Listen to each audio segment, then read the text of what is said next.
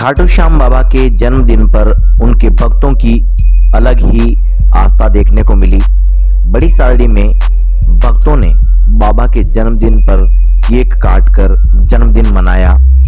भक्त दिलीप सुतार का कहना है कि इस बार हम बाबा के दरबार पर नहीं जा पा रहे हैं। ऐसे में बाबा के जन्मदिन को यहीं मनाने का फैसला किया।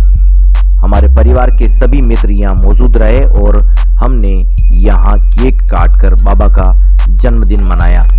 दिलीप सुतार के संस्थान पर किस तरह से जन्मदिन मनाने के लिए लोग इकट्ठे हुए।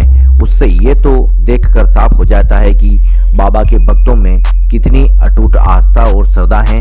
वे जहाँ पर भी बैठकर इन्हें याद करेंगे, बाबा इनकी अर्जी को ज़रूर स्वीकार कर लेंगे। आइए हम आपको बड़ी सादड़ी में बाबा के जन्मदिन पर काटे गए केक की कुछ तस्वीरों से रू रू करवाते हैं। तस्वीरों में आप देख सकते हैं नगर पालिका के चेयरमैन मुस्पा जी भोरा पूर्व चेयरमैन दिलीप जी चौधरी और दिलीप जी सुतार के सभी मित्रगण यहाँ मौजूद हैं और बाबा के जन्मदिन पर बड़ी धूमधाम से केक काटा जा रहा है।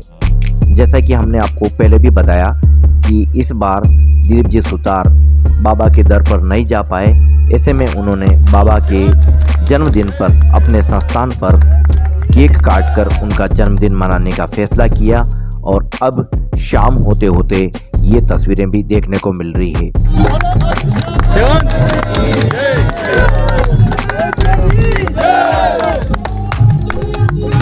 दोस्तों, जैसा कि बड़ी सादड़ी से राष्ट्र न्यूज़ का विशेष नाता रहा है समय समय पर ये चैनल आप सभी के दुख दर्द में हमेशा साथ खड़ा रहता है। का स्नेह हमारे साथ इसी तरह से बना रहे। देश और समाज इससे जुड़ी हुई स्टोरीज पाने के लिए चैनल को सब्सक्राइब ज़रूर करें, ताकि हर स्टोरी कंटेंट आपसे आपके क्षेत्र से, ताकि आपके क्षेत्र से जुड़े हर स्टोरी कंटेंट आप तक पहुँचते रहें। धन्यवाद।